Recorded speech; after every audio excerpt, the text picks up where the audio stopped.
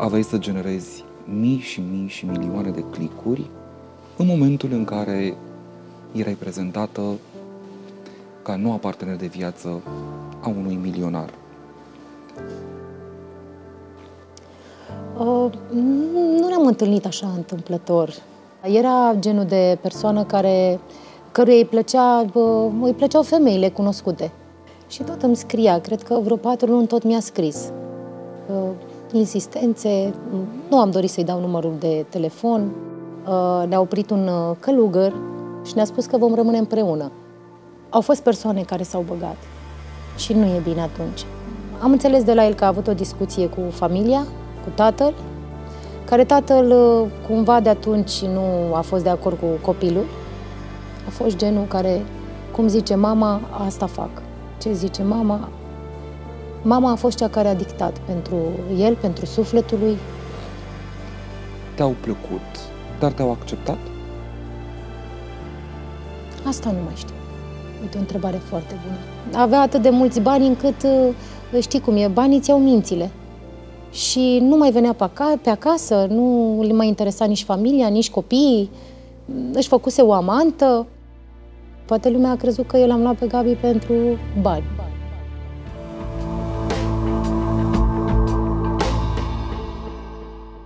În ultimii ani i-am auzit zbuciumul de mamă, care a încercat să-și păstreze alături de ea copilul, copiii mai exact. Dar înainte a fost un artist care ne-a marcat nou într-un fel sau altul copilăria. Dincolo de asta se ascunde o poveste de viață, zbuciumul unei femei în căutarea fericirii. Dincolo de asta se află și zbuciumul unui copil, unui adolescent care a încercat să-și clădească o carieră. Întotdeauna este dificil drumul către celebritate. La fel de ușor poți să crezi, dar la fel de ușor poți să ajungi în prima pagină a ziarelor mondene cu tot felul de lucruri care uneori nu sunt confortabile. Bine ai venit, Claudia Pătrășca! Bine te-am găsit și mă bucur să te cunosc, să fiu astăzi aici alături de, de tine și de cei care ne urmăresc. Și mă uitam acum pe, pe masa de aici, din platou, că văd niște scoici. și cumva vezi, uite, cum legați voi toată legătura asta mea cu marea. Căci după acest interviu mă întorc acasă, la Constanța, la mare, la copiii mei. N-au fost niște ani comos, nu? Uh, ultimii cinci ani din, uh, din viața mea, nu foarte confortabil pentru mine, dar uh, am început să-i accept și să iau așa ca atare. Pentru că um, fiecare uh, moment al vieții uh, are ceva de spus. Și am învățat foarte multe lucruri din uh, tot zbuciumul acesta. Și cred că um, acum uh, pot spune că sunt un om mai înțelept, mai bun, mai cald, dulce, îmi place mie să spun așa. Uh, m-am apropiat și mai tare de, de credință, de Dumnezeu și de iubire. Pentru că iubirea face parte din tot ce ne dă Dumnezeu. Eu sunt uh, genul de persoană care îmi trăiesc viața, cel puțin de acum înainte, așa cu, cu adrenalină și orice mi se, se va întâmpla și de acum înainte, că e bine, că e rău, voi lua lucrurile ca atare. Nu știu dacă voi fi fericită, nu știu dacă voi mai trece încă o dată printr-o uh, uh, despărțire sau vreo traumă. Nu știu, habar nu am, nu știu ce-mi rezervă viața și viitorul, dar o să le iau ca atare. Din fiecare lecție așa învățăm ceva. Eu ți-am spus ce am învățat, să fiu mai bună, să fiu cu mine, cu cei din jur, să nu urăsc. Este foarte important pentru că tot ce ni se dă în viață se dă cu un scop. Cu un scop vin toate. Și sunt pregătită și de acum înainte pentru orice. Bine sau rău. Viața este de, și despre bine și despre rău. Dar nu ți-a fost greu ca în ăștia cinci ani să nu urăști? Uh, foarte greu, dar uh, uh, am încercat să nu mă, mă rup deloc de, de Dumnezeu. Pentru că dacă ai un moment de slăbiciune și te, te, te găsește slab, foarte slab în momentele acestea de cumpănă, de, nu știu, ceva foarte greu în viața ta, atunci te desprinzi și de Dumnezeu. Și nu, nu te mai poți ridica. Rămâi acolo, la pământ. Și întotdeauna în viață pă, sunt, sunt soluții. Dacă le cauți și nu te pă, lași doborât la pământ, când te ridici, acolo rămâi. Adică faptul... Cred că, pă, clar, copiii mei au fost impulsul meu cel mai mare în, în această perioadă. Ei m-au ridicat. Dumnezeu mi-a zis, trebuie să te ridici, ai doi copii superbi, sănătoși în primul rând, tu ai două mâini, două picioare, ești o femeie care poate să muncească, să facă față oricărei întâmplări a vieții și m-am ridicat imediat. Cred că fiecare dintre noi așa stăm într-un colțișor al nostru și vorbim cu Dumnezeu. Dacă suntem credincioși, îl căutăm. Lupta ta pentru copii te-a salvat? Având legătură toată povestea asta a mea, întâmplarea părțică din viața mea, de ultimii cinci ani, uh, toată povestea asta are legătură cu copiii mei. Și eu când mă uit la copiii mei, văd lumină, văd iubire, uh, văd ceva pur. Și n-am, nu știu nici, n-ai cum să urăști. Probabil că pe gură îți vin foarte multe lucruri și spui la durere, la suferință. Dar aici e important ce simți și avându-i pe ei lângă mine și privindu-i non-stop, non-stop, dimineața, seara, la culcare, la trezire, uh, n-am, n-am cum să urăsc pe nimeni. Iar eu chiar dacă am primit rău de la uh, persoanele uh, care nu te aștepți în viață, chiar nu, e ca un șoc, nu te aștepți. Deci nu a fost o secundă de ură. Pentru că există acești doi copii uh, ai mei care nu, nu mi-au permis și nu mi-au dat voie să urăsc. Nici dacă vrei nu poți când îi vezi, te, nu știu, nu, nu, nu poți să exprimi așa în cuvinte, în verbal. Trebuie să simți. Pe copilul Claudia, unde îl proiectăm? Avem această oglindă care ne ajută să aducem amintiri. Prima ta amintire ca și copil, unde o ducem? Eram mult mai liniștiți, mult mai buni, aveam uh, uh țeluri de mici. Mi-a plăcea foarte mult sportul, mă regăseam în sport. Nu existau telefoanele acestea, era o copilărie frumoasă și acasă, în familie. Uh, vedeai, simțeai căldură, simțeai cum, uh, cel puțin cum am văzut eu la mine în familie, cu mama, tata o îmbrățișa pe mama, o atmosferă frumoasă, liniștită. Acum e totul așa un zbuciu. Ți-a lipsit imaginea asta în viața ta de cuplu? îmbrățișarea asta pe care ai văzut-o acasă la mama și tata? Te recunosc că a fost o perioadă frumoasă și în uh, momentele mele, uh, de momentele noastre de căznicie, atunci când am fost căsătorită, a fost o perioadă frumoasă și de îmbrățișări și de uh, iubire, pentru că altfel nu ar fi ieșit acești doi cu copii frumoși. Eu mereu le spun că ei au fost, uh, au venit pe lume din iubirea uh, noastră a părinților. Și au existat aceste momente, dar la un moment dat când se rupe, nu mai, n-au mai fost. Dar le-am simțit, da, a fost o perioadă în primii uh, trei ani când uh, am simțit exact uh, și uh, ce am văzut în familie. Unde este casa copilăriei tale? Unde trebuie să mergem pentru acest lucru? În ce localitate? Eu m-am născut, la, m-am născut în Constanța, în oraș. în, uh, într-un cartier foarte, foarte frumos și chiar și în ziua de astăzi, de câte ori merg uh, cu copiii, trecem, uh, copiii știu unde am locuit și unde m-am născut, unde am copilărit eu, la etajul 1, în Inel 2. Acolo aveam vecini, prieteni care și în ziua de astăzi ne întâlnim pe scenă de multe ori și a fost o copilărie de vis. Și când intrăm în casă, găsim pe cine?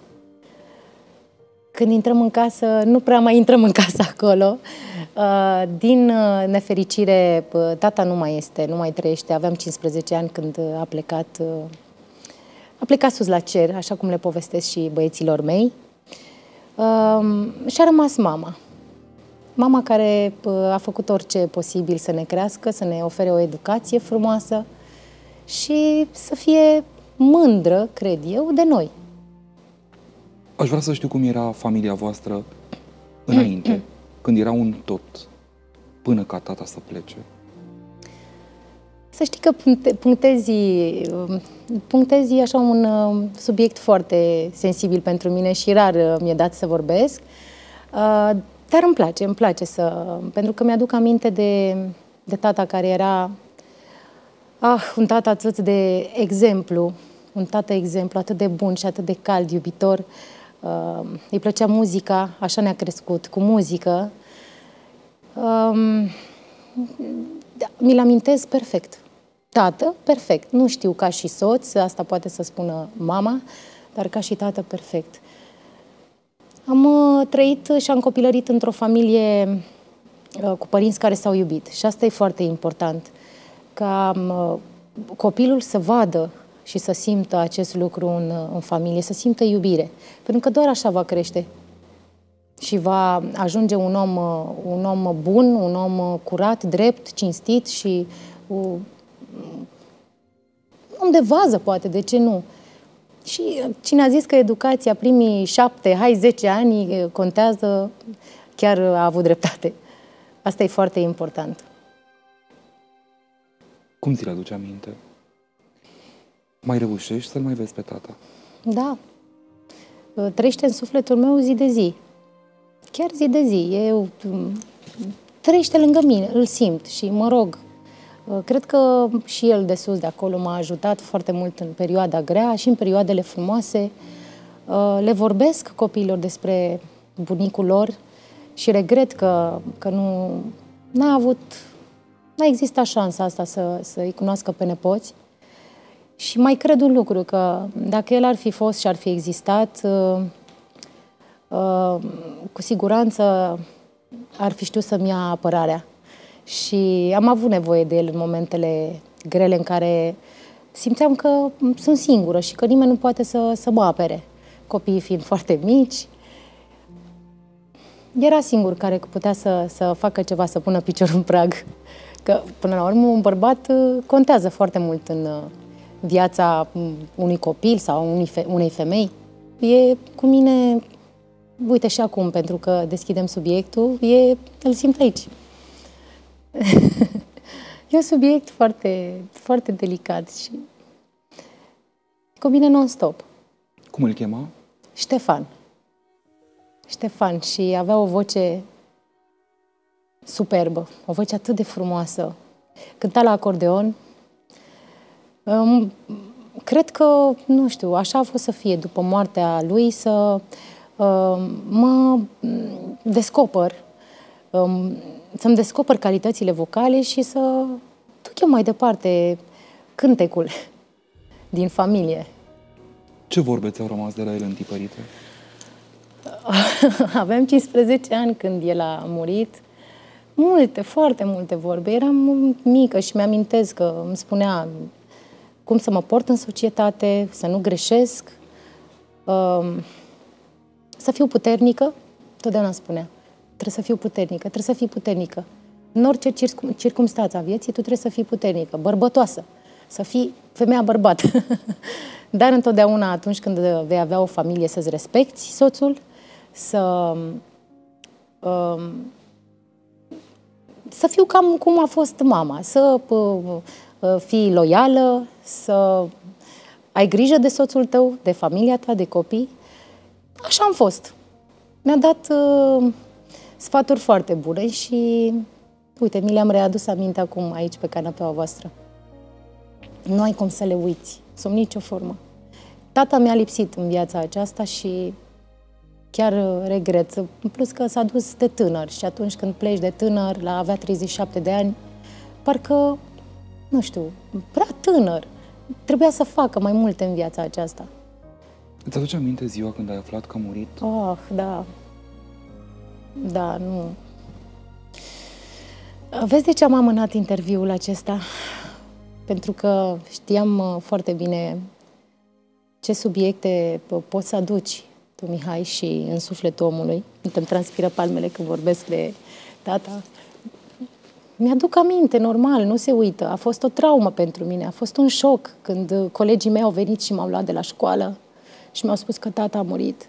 Nu știam pe unde cal, nu știam. Cred că mi-am uitat și ghiozdanul, nu știu ce am făcut. Și Stăteam în stația de autobuz și nu auzeam decât urlete, atât. Și auzeam pe mama, pentru că a avut o încercare de, nu știu, a morții, să spun așa, cu câteva serii înainte. Um, a fost întors din drum și apoi știu de la mama că el a trimis după mine la școală să mă aducă, pentru că nu putea să moară fără să mă îmbrățișeze. Da, e, e dur, dar toate lucrurile astea în viață te întăresc și uh, te ajută să cunoști viața așa cum este ea de, de fapt. Și moartea face parte din, din viața aceasta. Și ai ajuns de la școală? Am ajuns, da. Am ajuns. Mi-am luat la revedere, ne-am luat la revedere, unul de la celălalt. Și Și așa a plecat tata. Nu a murit acasă, a murit la spital, dar măcar a murit în păcat și că ne-a văzut pe noi, pe mine, pe fratele, pe mama. A fost o moarte dură așa pentru el, pentru că era tânăr, era un om atât de frumos și atât de bun și foarte credincios. Cred că Dumnezeu a vrut să-l ia. Că cineva mi-a zis, mă, dar normal că Dumnezeu ia oamenii buni, ce să facă cu ea cu cei care nu-l iubesc. Și așa a fost să fie. Prea deci, tânăr. Deci cumva asta au fost ultimele cuvinte. Mi-a spus că mă iubește foarte mult. Foarte, foarte, foarte mult. Foarte mult. Am avut un tată foarte bun și mi-aș fi dorit uh, cumva de aceea și-am și suferit uh, în toată perioada mea de separare de tatăl copiilor, pentru că mi-aș fi dorit, mă uitam în ochii lor și mi-aș fi dorit ca ei să să aibă un tată bun, alături de ei toată viața și să le fie alături, chiar și la distanță, oricând, în orice moment al vieții. Ți-a spus tata să ai grijă și de mama cumva? Nu mi-a spus acest lucru, dar uh, i-a spus mamei că o iubește. Și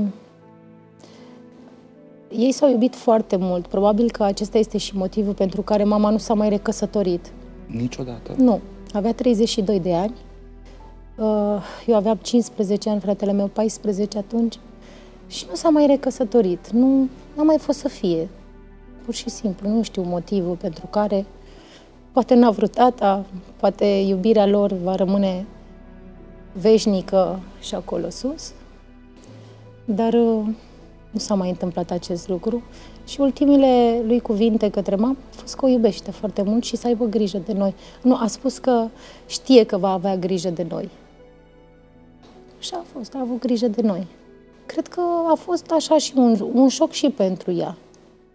Dar nu ne-ai spus de ce a murit tatăl tău? Leucemie. Dintr-o dată, pur și simplu. Boala când vine te întreabă și de ce, te întreb de ce, dar niciodată nu a fost supărat pe Dumnezeu. Și nu a vrut să ne chinuie pe, cel puțin pe mama, nu a vrut să o chinuie. El tot mai spera, că omul speră. Dar cea care s-a zbătut foarte mult pentru viața lui, ca el să rămână lângă noi și să trăiască, mai avea să își vândă și, ce să zic, că a vândut tot, numai să le ajute pe tata și să supraviețuiască. Dacă nu mai sunt zile, nu prea mai ai ce să faci, nu nici banii nu te mai salvează, nimic, absolut nimic. Și când, dacă Dumnezeu vrea să pleci, pleci. Nu avem cum să ne punem noi în fața lui Dumnezeu sub nicio formă, cu absolut nimic. Și a fost o perioadă grea și pentru mama, fiind atât de tânără, cu doi copii, eram și noi la școală, ea singură, foarte multe datorii, pentru că tata făcea citostatice și o fiolă de citostatice. Mi-aduc perfect aminte toate discuțiile acestea. Costa 180 de dolari pe vremea aceea. Și deja erau, nu mai erau bani. Nu am mai putut să locuim în acel apartament. Ce s-a întâmplat cu apartamentul? Am vândut. Mama a hotărât să-l vândă Am plecat la casă. Mamă, Unde de fapt, casă? eu locuiam în București. Am plecat către București cu cariera, cu trupa exotic. Mama am mai stat câțiva ani acolo, dar nu, nu putea să trăiască. N-a, n-a putut să, să-și refacă, să meargă înainte. Peste tot era tata. Și cumva a hotărât să, să se mute de acolo. Nu e ușor să trăiești într-un loc în care, uh, o, cel puțin ca așa cred și o simt, nu i-a fost ușor să trăiască într-o casă unde erau atât, era atât de multă iubire, înțelegere, unde era el, unde era tatăl meu. Iar acum, o să vreau cu ajutorul oglinzii să ne întoarcem la această vârstă de 15 ani, când vă petreceți tatăl pe ultimul drum. De ce îmi faci asta, Mihai? Aceste două femei în fața destinului, cumva maturizată și tu înainte de vreme, a trebuit să devii suport pentru mama ta, suport pentru fratele tău, în fața destinului, cum s-a schimbat viața ta? Cum s-a schimbat copilăria ta brusc? Cum ai perceput-o? Ți-am spus, după ce a murit tatăl meu, imediat, uh, subit, așa s-au întâmplat niște lucruri foarte frumoase în, uh, în viața mea. Deși eram la 15 ani, tot copil, pot spune că ești. Um, m-am apucat de muzică. Am, fredonam prin casă, cântam uh, și am implorat-o pe mama, te rog, du-mă undeva să mă asculte cineva. Și țin minte că m-a dus la domnul Dumitru Lupu, Dumnezeu să-l ierte, și a asigurat-o pe mama că trebuie să facă ceva cu mine pentru că uh, sunt talentată, eram talentată. Chiar asta simțeam și eu, simțeam atunci. Și țin minte că mama s-a împrumutat să îmi plătească două melodii pe atunci vreo 9 milioane. Și s-a împrumutat pentru că era imediat după moartea tatălui și nu prea mai avea bani. Își vânduse magazinele, își vânduse, uh, vânduse multe. Mai avea să vândă și casa, numai că tata a zis stop până aici, nu mai, vin, nu mai vindem nimic. Pentru că în casa asta trebuie să rămâi cu copiii.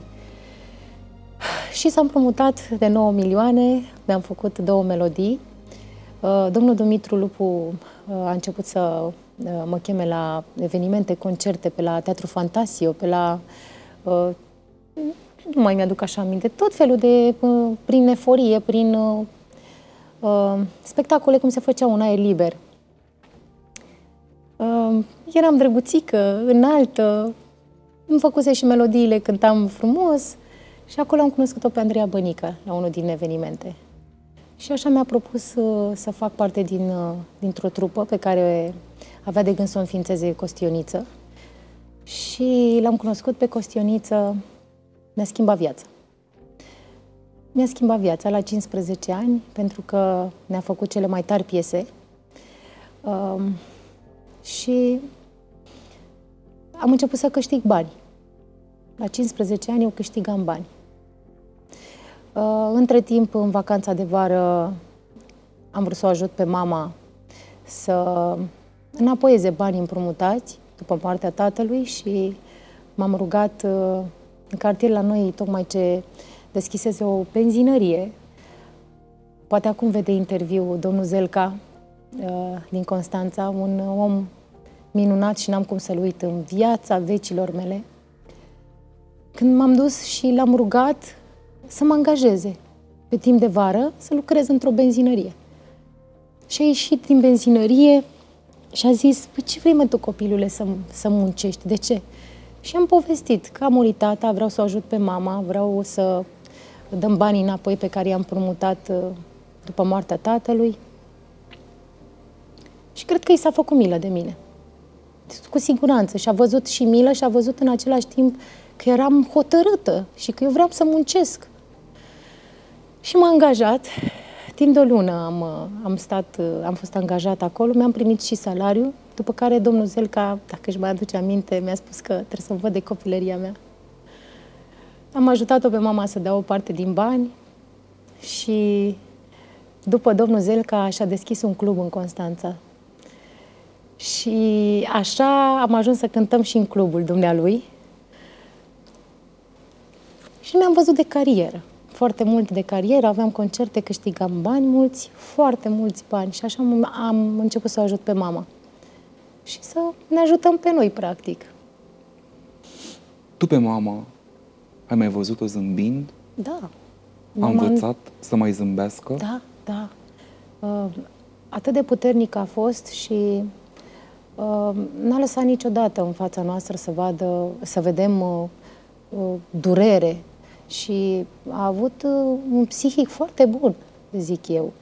Pentru că și credință, ea mi-a insuflat acest lucru,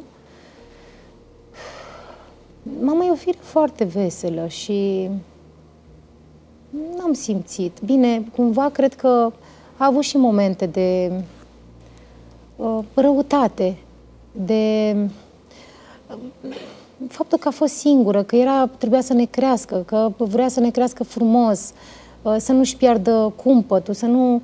Uh, i-a lipsit tata, m-am pus și în situația ei. Și ea la rândul, a trec, la rândul ei a trăit fără mamă. Deci a fost așa o poveste a vieții ei, nu știu cum a fost să fie, dar puternică femeia asta. Și acum ca femeie, n-ai să de vorbă niciodată cu ea. De ce s-a condamnat la o singurătate continuă? Nu tu copilul, tu femeia. N-ai vorbit niciodată cu ea. De ce n-a putut niciodată să-l înlocuiască pe tata? Nici nu știu și n-aș vrea să fiu în sufletul ei. Și noi niciodată, cred că așa ne-a crescut mama și pe vremuri așa se creșteau copiii. Uh, mama mie nu mi-a spus niciodată te iubesc. Niciodată. Nici în ziua de astăzi nu mi-a spus te iubesc. Um, eu le spun copiilor mei frecvent lucrul acesta și ea mi-a spus, zice, nu le mai spune așa non-stop, te iubesc, te iubesc, te iubesc, te iubesc. Uh, mi-a arătat, într-adevăr. Uh, a fost mai introvertită, mai închisă în ea. Nu știu de ce, uh, ori probabil că o fi făcut vreo înțelegere cu tata, nici nu știu. Nu știu. Și-au promis viață veșnică, uh, ori nu a găsit persoana potrivită, nu pot să-ți răspund la întrebarea asta. Cred că ea ar putea să răspundă. Dar niciodată nu mi-am, nu mi-am permis să, să o întreb. Și nici acum n-aș intra în sufletul și viața ei. Cred că fiecare dintre noi uh, avem așa câte ceva ce nu putem să spunem. Și cred că și tu și nu putem să spunem. Ori nu poți să spui în cuvinte, ori nu vrei să spui, prefer să ții pentru tine. Dar copilul lui Claudia îi lipsește acest te iubesc? Din partea mamei? Nu știu dacă îmi lipsește, pentru că știu că mă iubește, este normal. Dar uh, eu am vrut și vreau să le spun copiilor mei zi de zi, te iubesc. Și vreau să le și arăt și să le și spun, așa simt. Pentru că de multe ori noi, oamenii, vrem să și auzim acest te iubesc, această prețuire, cât de mult însemn pentru mine. Eu am învățat și eu am fost închisă, am avut și momentele mele în care am fost închisă și poate n-am spus. Dar de multe ori oamenii au nevoie și de vorbe calde, frumoase, să le audă. Aveai să cunoști celebritatea alături de colegele tale de trupă. A fost altceva, altceva. Pentru vremurile alea, o trupă de fete provocatoare, cum ai perceput tu momentul ăla și cum a perceput mama ta? Cum a... Vai, cât m-a certat mama acasă și cât m-a certat că am venit cu părul tăiat acasă, aveam un păr lung, frumos. Îți dai seama că mama s-a îngrijit practic de părul meu mulți ani când eram mică Și mi-a spus, orice, orice schimbare poți să faci, dar să nu stundă nimeni părul. Și când am venit cu părul tăiat, a fost jale. Deci știi cât a plâns? Am trecut și peste etapa. A fost... Uh, intrarea mea în trupa exotică a fost uh, un boom. Un boom și o schimbare pentru mine, dar să știi, Mihai, că niciodată uh, la cât de uh, cât de sus eram ca și trupă în momentul acela că eram singura trupă de fete și câți bani făceam pe atunci, să știi că eu am rămas mereu un om cumpătat, echilibrat. Niciodată, ca să folosesc cuvântul, nu mi-am luat-o în cap. Niciodată, nu. Am stat departe de lucrurile rele. Și asta tot pentru că au fost cuvintele alea de care eu mi-aminteam, pe care mi le spunea tata sau mama, în copilărie. Și tot timpul am avut un echilibru. Întotdeauna îi spuneam mamei că am cântare, am făcut banii aceștia, dacă avea nevoie, mergeam, o ajutam, am făcut schimbarea cu casa, am făcut și greșeli, pentru că atunci când ești tânăr și dai de banii, mai arunci stânga-dreapta, mai faci și greșeli, mai cumperi o mașină pe care, care se devalorizează, mai, mă rog, nu mai contează. Cert e că a fost cea mai frumoasă perioadă din, din viața mea de atunci, în carieră. Dar cu comentariile oamenilor pentru o societate de atunci, cum, ai, cum le-ai gestionat? Dar eram foarte respectate și foarte iubite. Deci Dar apariția fost, era a fost o nebunie. ceva diferit. Uh, mă uitam, uh, știi cum, dacă ți-aduce aminte cum uh, era așteptat Michael Jackson? Deci, crede-mă și nu exagerez cu absolut nimic. Dacă o aduci pe Andreea aici, o să-ți povestească la fel. Era o nebunie, era o, o, o explozie, o isterie la concertele noastre. Uh, oamenii erau fani adevărați, veneau cu postere, se vindeau CD-urile acolo, vânzările erau ceva pentru casele de discuri. Era o isterie. Alergau fanii, oamenii, copiii, alergau după mașina noastră în momentul în care terminam show-ul și ne urcam în mașină. O nebunie a fost. Și dai seama că am simțit ceva ce nu știu, n-ai cum să descrii nici lucrul ăsta în cuvinte. Ne simțeam artiști te-ai îmbogățit atunci? Nu știu dacă m-am îmbogățit. Ce înseamnă îmbogățit? Fiecare are propria... Da. După standardele tale. Um, am reușit să-mi iau, să-mi iau o casă, am reușit să uh, am o mașină, să fac o afacere, după care am și pierdut, bineînțeles, că se mai întâmplă să faci și uh, greșeli de genul, dar nu regret. Am călătorit, uh, m-am îmbrăcat în uh, Uh, cele mai uh, uh, noi apariții, să zic așa, ale brandurilor pe atunci. Îmi plăcea să mănânc, ca și, și acum. Îmi place să mănânc foarte bine, să merg la un restaurant, chiar dacă dau, nu știu, 7-8 milioane, merg și mănânc copii, da, îmi place să mănânc și nu regret și nu îmi pasă că dau pentru mâncare. Dar nu m-am îmbogățit să zici că uh, uh, eram vreo milionară, sub nicio formă. Lumea avea să te cunoască și altcumva aveai să apar pe toate, în toate revistele, în toate publicațiile online, aveai să generezi mii și mii și milioane de clicuri în momentul în care erai prezentată ca noua partener de viață a unui milionar. Putem să-i spunem numele, este vorba despre Gabi Bădălău, care și acum generează la fel de multe vizualizări. El venea după o relație cu o altă celebritate cumva. A fost o întâmplare că v-ați întâlnit? Uh, nu ne-am întâlnit așa întâmplător. Ieșisem dintr-o relație, eram singură de un an de zile, Uh, el mă tot căuta. Uh, erau, nu avea numărul meu de telefon, dar cum erau înainte, Messenger sau uh, Facebook, nu era Instagramul, și tot îmi scria. Cred că vreo patru luni tot mi-a scris. Uh, insistențe, nu am dorit să-i dau numărul de telefon. Dar ți-a scris pentru că ești cunoscută?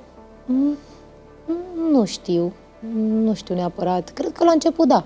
Că aș vrea să Da. înțeleg principiul. Cred că la început, da, era genul de persoană care, căruia îi, plăcea, bă, îi plăceau femeile cunoscute. Și cred că nu eram singura pe care o aborda acum, realizez lucrul acesta. Um, la mine era în momentul în care îmi scria într-o zi, era o prietenă și la un moment dat uh, ea i-a răspuns în locul meu pentru că deja eram de un an singură, nu vreau să mai ies. Să... Mergeam la concerte, veneam acasă, liniștită. Nu mă gândeam să-mi fac o altă relație sub nicio formă, nu eram pregătită. Ea i-a răspuns în locul meu și cumva ne-am ciundenit atunci de ce ai făcut tu asta, de ce ai răspuns, ce ai dragă, gata, ajunge cu statul acasă la filme și dă o șansă omului. Păi nu, n-aș vrea să-i dau o șansă, că uite, a mai fost cu X, a mai fost cu Y. După patru luni am uh, acceptat cumva să, să mă văd cu, cu Gabi. Ai, Iar prima noastră întâlnire a fost uh, ceva de genul... uh, Ne-am plimbat cu mașina. Ne-am dus până la Ploiești. El a venit cu două prăjituri. Am mâncat cu o linguriță din prăjiturile respective. Uh, Apoi, a doua zi, am fost împreună la o mănăstire, la Ghighiu. Și acolo s-au întâmplat niște, niște lucruri, nu știu, un pic așa, dar ciudate pentru noi atunci, dar uh, reale, au devenit reale pentru că un, uh, în momentul în care am ieșit din mănăstire, uh, ne-a oprit un uh, călugăr și ne-a spus că vom rămâne împreună. Dar ce s-a întâmplat ciudat în mănăstire? Păi invitația lui n-a fost la un restaurant sau... A, pur și simplu m-a întrebat, mă, știu că ești credincioasă, n-ai vrea să mergem la o mănăstire? Să... Și a zis, bine, hai să mergem la o mănăstire. Păi mergem la Ghighiu. Mergem la Ghighiu. Acolo am intrat, fiecare m, ne-am rugat în treaba noastră și la ieșire din mănăstire ne-a oprit un călugăr. Ok. Și a zis, voi doi veți rămâne împreună. Ne-a pus și râsul, și pe mine și pe el. Îți dai seama, era ceva așa, am zis că e o glumă, nu prea bună. Cum să rămânem dacă noi e a doua oară când ne vedem? Și de patru luni uh, tot îmi scria. Ne-am văzut și a treia oară, și a patra oară, și a cincea oară, mă rog. Uh, și așa a decurs, cumva am început să avem uh, o relație. El uh, locuia, venea mai mult și locuia cu mine, la mine în uh, apartament. Și mai departe s-au legat pur și simplu de la sine așa se leagă tot într-o relație. Nu e nevoie să faci ceva. Iar Gabi nu a făcut nimic ceva wow la început care să, nu știu, să mă cucerească. A fost uh, ceva simplu între noi, ceva normal. Uh, Faptul că eu nu m-am dus la întâlnire, nu știu, cu o rochie strâmtă sau decoltată, cred că pe el atunci l-a încântat că mi-a spus că eram cu o pereche de blugi largi, de ăștia bărbătești, așa îmi plăcea să și cu un tricou mai larg, cu o șapcă pe cap. Eu sunt un om foarte simplu și foarte relaxat și atunci când uh, uh, vreau să cunosc bă, pe cineva sau nu trebuie să, să, să fiu eu, să fi, trebuie să fiu eu, nu trebuie să fiu altcineva. Dacă mă vrei, mă vrei așa pentru ceea ce sunt eu și pentru cum sunt eu ca om. Nu trebuie să vin cu artificii sau să fac, să mă dau peste cap să mă placi. Exclus așa ceva. De adevărat că după trei săptămâni ai rămas însărcinată? Ah, După, mai, pu- cred că puțin mai mult de trei săptămâni. Da, foarte rapid. Și în mo- a fost un moment în care nu trebuia să rămân însărcinată. Deci nu, a fost așa ceva, așa vreo Dumnezeu. Era o perioadă a mea uh, în care nu, nu trebuia să rămân însărcinată. Mi-a, mi-a explicat și doamna doctor după uh, când mergeam la consultații. Și în mintea ta, când ți-ai făcut povestea și ai legat cu întâlnirea de la Ghighiu, a existat o corelare între aceste două lucruri? Sarcina și vizita la mănăstirea Ghighiu? am început să realizăm amândoi. Când, ni s-au, a, când au început să ni se întâmple lucruri, am realizat exact ce ne-a transmis uh, uh, călugărul respectiv. deja începeau să se întâmple niște lucruri.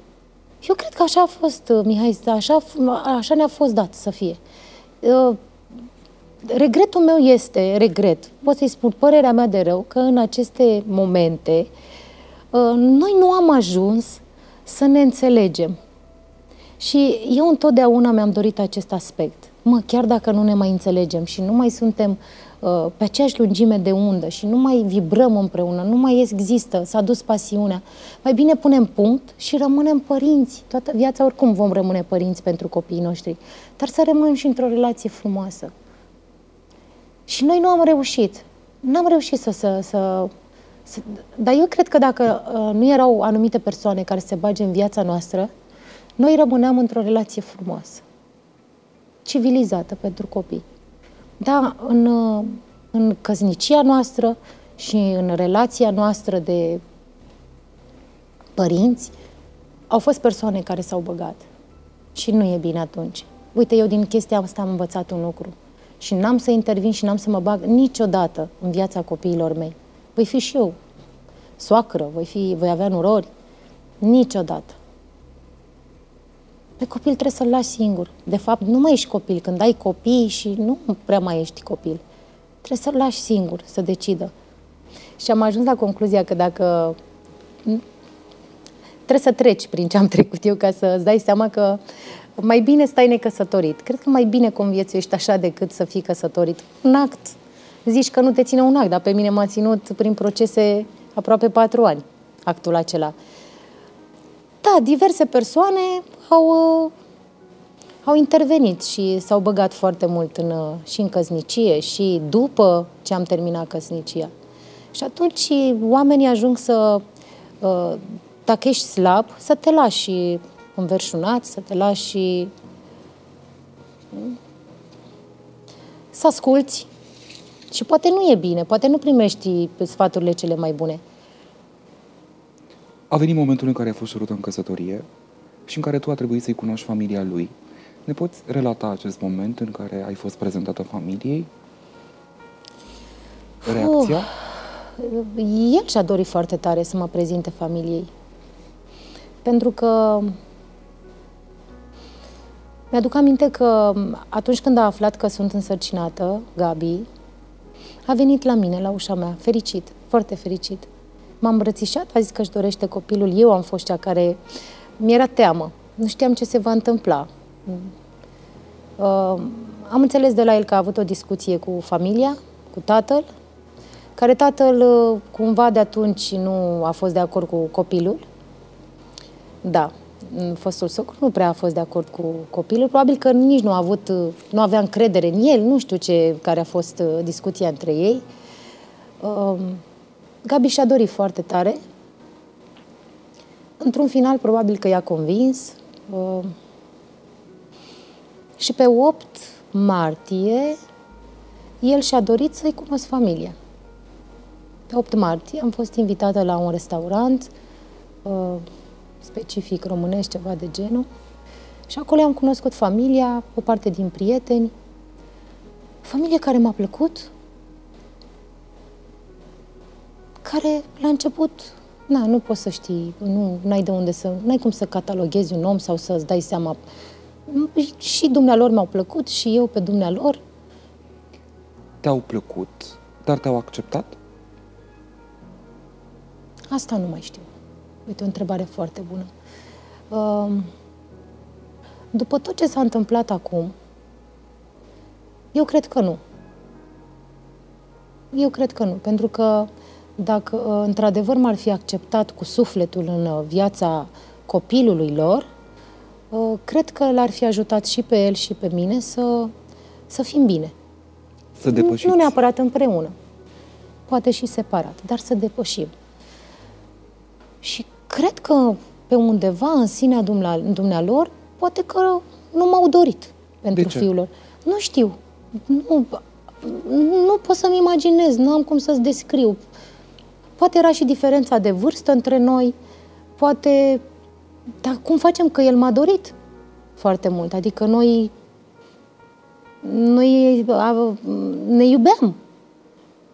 Eu nu știu ce s-a întâmplat între ei, nu știu nici în ziua de astăzi ce discuții au avut. Că, îți repet, nu întotdeauna spui tot ce simți și tot ce, tot ce ai aici. Ai avut această discuție despre impactul pe care opiniile familiei le aduce în relația voastră? El să știi că niciodată nu a avut, și îmi pare rău să spun lucrul acesta, niciodată nu a avut o legătură foarte uh, de iubire, așa, cum mi-am dat eu seama și poate doar de, nu știu dacă respect, dar de iubire, legătura dintre uh, copil și mamă. Nici, i-a lipsit. I-a lipsit acest aspect. Nu vreau din respect pentru el să vorbesc, știu foarte multe detalii în sensul de copilărie, de tot. Și tot timpul a fost cam cum a spus mama. A fost genul care, cum zice mama, asta fac. Ce zice mama? Mama a fost cea care a dictat pentru el, pentru sufletul lui. Mă, mă depășește un pic și n-aș vrea așa să intru în detalii, pentru că am renunțat să mai vorbesc despre Mihai, despre uh, Gabi, despre ceea ce a simțit sau simte el, despre familia lui. Ne-am separat, suntem deja de 5 ani separați. Doar atât, repet. Singura mea, singur off, ca să spun așa, dar acum am acomodat deja, m-am... că n-am putut să rămânem într-o relație ok. Părinții vom rămâne toată viața. Pentru că cei mici și ei și-au dorit acest aspect. Dar cumva toate deciziile astea care nu se luau la voi în casă, se luau într-o altă casă, ți-au impactat lumea. Pentru că tu ai avut lângă tine un om care te-a iubit. Și cumva... Cred, nu știu încă. Cel Dacă m-a iubit sau nu, cred. Atunci zic că ne iubeam. Că altfel, uh, din doi oameni care uh, se iubesc, au ieșit doi copii uh, impecabili, perfecți. Și un om care nu te iubește, în uh, ziua anunții, când te vede mireasă și mai are și un copil în brațe, nu poate să plângă de fericire. Adică lui s-a întâmplat lucrurile acestea. Știi să cred că cândva a existat iubire. Că nu poți să te căsătorești cu un om, uh, mai ales în situația noastră, că eram tineri amândoi. Uh, eu nu l-am luat pe Gabi pentru bani, pentru că în momentul acela Gabi era falimentată, ca să zic așa. Uh, era supărat și necăjit pentru că nu mai avea niciun ban și am spus că nicio problemă. Stăm la mine, găteam în casă, uh, nu ieșeam, nu eram doritoare să ies la restaurante, mergeam uh, mai mult în familia lui și se gătea acolo, se făceau grătare. Cam așa am trăit. Poate lumea a crezut că eu l-am luat pe Gabi pentru bani. Niciodată. Deci tu nu ai beneficiat de acest stil de viață luxos cu... Uh, nu, să știi că nu am fost genul care să mergem să facem cele mai luxoase vacanțe. Uh, nici nu le-am cerut, pentru că nu... Pentru mine era important, mai ales că au venit copii în viața noastră uh, rapid. Uh, Gabriel după nicio lună, după care ne-am căsătorit și a venit Nicolas. Uh, viața ne-a luat așa, prin uh, surprindere. Uh, ne-a ajutat uh, tatăl, uh, tatăl lui Gabi, mm, i-a făcut, ne-a făcut o casă, ne-a cumpărat de fapt o casă, i-a cumpărat lui o casă, ne-am mutat în Bolintin. Eu m-am, nu m-am opus, pentru că în momentul în care, și știu, uite, tot din familie, cum îmi spunea tata, tu trebuie să-ți urmezi bărbatul, pentru că asta face o femeie. Și mi-am urmat bărbatul. Iar uh, eu am fost trup și suflet pentru uh, familie, pentru uh, fostul meu soț. I-am fost loială. Nu cred că i-am ieșit nici din cuvânt, dar nu se rezumă totul numai la asta. La un moment dat îți dai seama că nu mai ești fericit și că trăiești singur în doi. Și atunci când nu mai vrei, și am avut și o discuție și cu el și cu familia, am încercat am, să trecem, să iertăm, să... Ce le-ai spus în familie? Că nu se mai poate, pentru că datorită banilor pe care uh, uh, familia lui i-a pus la dispoziție uh, lui Gabi, nu se mai înțelegea nimeni cu el. Și eu doar i-am rugat să ne lase singuri să construim și să-i, cum am exprimat, să închidă robinetul. În ce sens nu se mai înțelegea nimeni cu el? Păi nu ne mai înțelegeam, pentru că avea atât de mulți bani încât, știi cum e, banii ți-au mințile. Și nu mai venea pe, acasă, pe acasă, nu le mai interesa nici familia, nici copiii. Și atunci își făcuse o amantă, și atunci, eu ca și femeie, eu aveam nevoie de el, că de aceea m-am căsătorit, nu să trăiesc singură, eu și cu, cu copiii. Aveam nevoie de un bărbat lângă mine, aveam de stâlpul familiei, nu? Că așa am văzut în casă la mine. Era, ne, era de negăsit. Dar când a început Nu mai era. să se deschidă acest robinet cu bani? De când s-a născut al doilea copil, nu mai ai, de când s-a născut Nicolas, prin 2017, uh, da, 2017. Și tu cum ai aflat? E, e simplu, Mihai, cum să uh, afli, simți.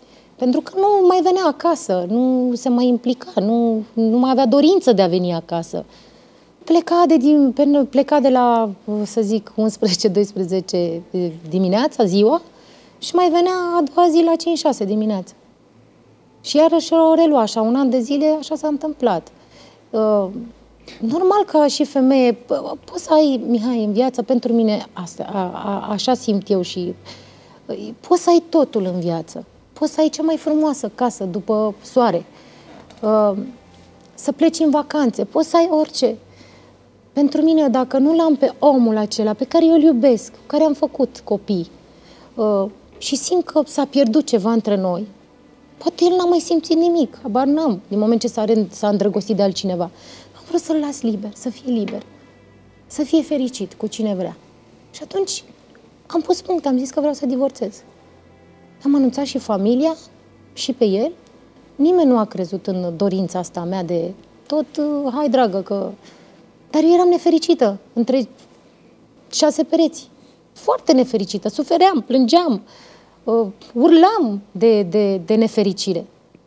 Eram ținută în casă, eram eu nu pot să trăiesc așa. Nu, eu am nu am cum niciodată și i-am spus și lui, eu dacă nu mai am iubire și nu mai... și dragoste cu Sila nu pot să faci. Și acest divorț nu a vrut să mi se dea. Nu, a zis exclus. Dacă tu vrei să divorțezi de mine, o să fac aia, o să fac aia, presiuni, amenințări.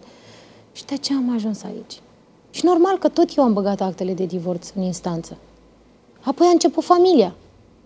Mama lui, cu presiuni, cu răzbunări, cu uh, tot felul de răutăți. Și am ajuns aici, în situația în care nici nu ne mai vorbim, situația în care s-au adresat zeci de jigniri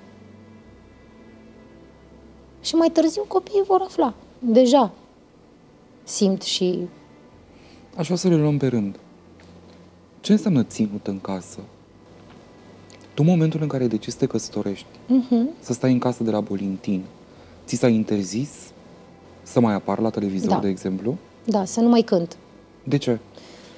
Nu știu, pentru că femeile în uh, familia respectivă nu, nu lucrau sau nu trebuia să lucreze. Nu știu, nu, pur și simplu, nu mai cânta. Ce vă lipsește? De ce vrei să cânți? Ce vă lipsește? Și asta mi-a lipsit muzica, am suferit. Am suferit foarte mult. Până când am reluat activitatea, în momentul în care el uh, chiar nu mai acorda atenție familiei și am zis, nu, trebuie să fac ceva. Parcă așa a fost de sus, am simțit ceva. Dar tu când ai acceptat să renunți la partea asta din tine, care te definește, să fii artist? Am renunțat la foarte multe lucruri pentru familie și pentru iubirea pe care eu i-am purtat-o lui, ca și soț, că era soțul meu, eu ne-am cununat în fața lui Dumnezeu și am renunțat, renunțasem și la mine și o greșeală foarte mare, din asta am învățat. Nu, nu mai eram eu pe primul loc. De multe ori îl puneam pe el pe primul loc. Că asta nu a înțeles uh, și familia lui și eu cred că și în sufletul lui, chiar dacă acum fiecare dintre noi suntem pe drumul nostru, uh, au existat niște sentimente și niște uh, Uh, și mulți s-au băgat în toată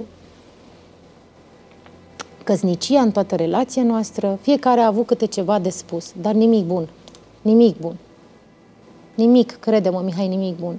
Acum realizez că nimeni nu ne-a spus și nu ne-a, ne-a dat un sfat bun. Violent a fost cu tine? A încercat, dar nu, nu, s-a, uh, s-a oprit. Au fost, au fost și certuri și discuții foarte mari, aprinse. Există vreo căznicie roz? Nu există. Ai spus că ai depus actele de divorț și vorbeai de faptul că în momentul în care ți-ai permis să divorțezi, deși înțelegerea familiei era să rămâi acolo orice s-ar întâmpla, Nu a fost început... nicio înțelegere să rămân acolo. Nu, a spus Asta că își doreau. pur și simplu Gabi nu o să-ți dea niciodată divorțul. Gen. Ai spus că au început răzbunările. Vreau să te întreb în contextul ăsta. Am văzut cu toții la televizor dorința lui Gabi ca tu să rămâi fără cei doi copii. Lupta în instanță. Vreau să te întreb dacă so- fostul tău soț s-a luptat în instanță ca să-ți ia copiii pentru el sau fosta ta soacră și-a dorit copiii pentru ea? Nici măcar dumnealor nu și-au dorit copiii aceștia, Mihai. Asta a fost o ambiție și asta, asta este durerea mea și nu știu ce să le spun copiilor când vor crește. Pentru că tatăl spunea că își dorește copiii pentru familia lui. Știți că mereu spunea lucrul acesta. Din gura lui ieșea. Dar bunicii, un bunic care își iubește cu adevărat nepoții, niciodată nu poate să-i rupă de mama lor.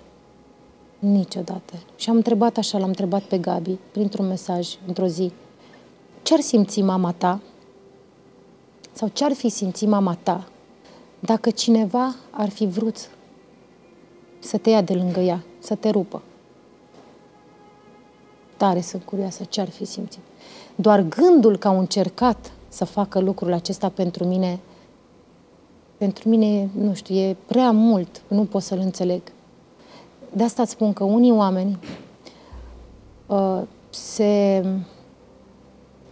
se rup așa de Dumnezeu și cad pentru că sunt slabi și nu au ajutor să fie ridicați.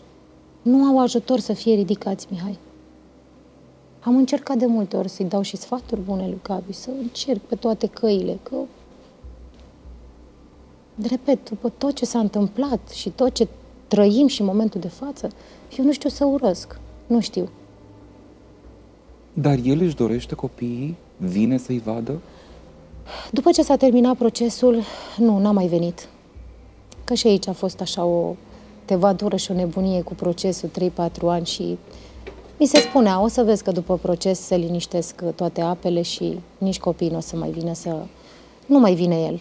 Trimite șoferul cu și pe mama lui, îi ia, îi aduce, ori dacă am drum prin București, îi las eu, îi duc, dar el nu mai vine. Și știi, nu sufăr eu sau copiii. Copiii au de suferit. Îi ajută măcar financiar. Le plătește școala, dar și aici este o problemă, că au fost niște discuții acum câteva zile în care copilul cel mare, m-a durut așa tare inima, în care copilul cel mare a venit plângând și mi-a zis, mami, nu mai vreau. Nu mai vreau niciodată să merg cu caietele la, la tati acasă, pentru că el e un copil foarte bun, dar de un an de zile sunt într-un uh, mediu al unei școli Cambridge, unde se învață doar în engleză. Și sunt niște pași pe care trebuie să-i parcurgă un copil. Eu sunt genul de mamă care uh, le-am spus exact ce au de făcut legat de școală, dar niciodată n-am să-i presez, niciodată n-am să le dau cu cărțile în cap. Niciodată n-am să le spun, de ce ai luat nota aceea și ne-ai luat-o pe cealaltă. Și a venit supărat și a spus că nu mai vrea pentru că bunica a țipat foarte, la, foarte tare la el și tati, pentru că a luat bine în loc de foarte bine la engleză. Și am fost foarte supărată. Și a spus că dacă nu iei foarte bine de acum înainte, te scoatem și de la școală și nu mai vii nici la noi. Iar un copil de 8 ani trebuie să-l ajut să fie mai bun. Trebuie să-l ajut să se autodepășească pe el. Și bine este foarte bine ca și calificativ până la urma urmei. Iar în viața asta, eu stau și întreb, că l-am întrebat și pe Gabi, Oare cu ce te duci la uh, în momentul în care trebuie să te angajezi undeva cu notele? Te duci cu notele? Dar oare Gabi este vreun uh, nu știu ce job are și nu știu eu, ca să fii, să cerți un copil pentru că a luat un bine, nu un foarte bine, să-l traumatizezi, nu să-l cerți. Sunt lucruri care nu, pe care ei nu, nu, le, nu le înțeleg. Și se pune presiune, presiune foarte multă și atunci noi niciodată, cred că de acum înainte nu vom avea șansa asta să ne putem înțelege sau să fim cumva la un unison sau să comunicăm, să colaborăm împreună. Și atunci am luat decizia zilele trecute să merg să vorbesc uh, cu cei din învățământ, să vedem cum facem să scot copiii de la, de la școala privată, pentru că uh, familiei, mamei lui, i s-a părut, nu tatălui copiilor, mamei lui, i s-a părut că banii pe care îi dă pentru școală, pentru banii aceștia ar trebui să-i aducă copilul numai foarte bine. Forțat, obligat, ar trebui. Și nu, la mine nu merge așa. Pentru că suntem în acest context cu soacra ta. Aș vrea să concluzionăm cumva toată această epopee cu familia implicată în relația copiilor. Tu spuneai că ești mamă la rândul de băieți și nu o să vrei să te implici în niciun fel. Crezi că momentul în care părinții au această putere financiară asupra relației pot și să decidă în relația respectivă? Categoric. Deciziile în relația voastră au, luat, au fost luate practic de socrii voștri? Da. Categoric, da. Da. Și dacă nu ești suficient de uh, hotărât, sau nu știu cum să-i spun, n-ai bărbăția aia, pentru că până la urma urmei și tu ai familia ta, pe mamă trebuie să o respecti, să o iubești, pe tată la fel, soră și cine mai e. Dar tu ai familia ta, ai doi copii, aveai o soție. Și atunci nu poate să vină nici mama, nici tata așa să dărâme într-o secundă, dar Gabi a ales banii. Gabi a ales banii. Pentru că dacă la 30 va de ani vine mama și zice vreau să faci așa, nu vreau să le dai copiilor nimic, nu vreau să-i dai ei, nu vreau să faci aia, vreau să o dai afară, vreau să... Stai un pic, că nu poate să vină Poate să vină la tine mama ta să-ți spună acum dă copiii afară din casă sau nevasta și tu să accepti? Nu cred, puțin bărbați sunt sau cred că nu prea mai sunt. Banii au fost mai presus decât oamenii își vând sufletul pentru bani, Mihai. Pentru nimic. Își vând sufletul. Asta a fost și primul meu mesaj pe care l-am scris acum 5 ani. Ți-ai vândut sufletul pentru nimic. Ce are omul mai, mai, mai uh, presus decât orice pe lumea asta. Familia, copii, copii. Asta e cea mai mare avere. Ce facem când avem bani mulți? Și, în, uite, situația pe care a avut-o tatăl meu. Cu niciun ban nu mai puteai să-i cumperi sănătatea și să-l aduci înapoi. Că avea o boală grea. Nu mai ai cum. Doar cu strigăte și cu urlete la Dumnezeu. Dar unii oameni preferă să moară cu bani. Pe cuvânt îți spun să moară cu banii și așa, fără niciun regret. Uh, toată lumea te pune în aceeași uh, poză cu Bianca Drăgușanu. Vreau, vreau să înțeleg care este legătura dintre voi două. De ce sunteți în aceeași uh, propoziție? Nu avem nicio legătură. Mm, eu cred că tot ce s-a întâmplat până acum și în nebunia asta, tevatura asta între mine și această femeie, e tot din vina lui Gabi. Pentru că a implicat-o mereu. Și mereu când a vrut să, să spună ceva sau să-mi facă vreo, vreun chitibuș, ceva rău sau să dea prin presă, o băga pe ea. Hai, spune tu sau fă tu. Eu cred că el nu s-a maturizat și nu știu dacă se va maturiza prea curând. Că, repet, un bărbat care știe ce vrea, spune stop, nimeni nu se bagă în viața mea, nici mama, nici actuala, nici viitoarea. Ce ține de copiii mei, eu mă descurc. Nu, sunt nicio formă, am și spus acest uh, aspect. Deși noi eram căsătoriți, ei umblau și erau împreună, dar nu... Știi cum e și cu asta? Pă, uh, nu te-a despărțit, te-a despărțit X sau nu. Eu cred că a fost vina lui aici. Nu vina uh, unei femei, niciodată nu se bagă nimeni în casa cuiva dacă tu nu permiți. Dacă el a permis, el e de vină pentru mine, nu poate să vină 10 femei.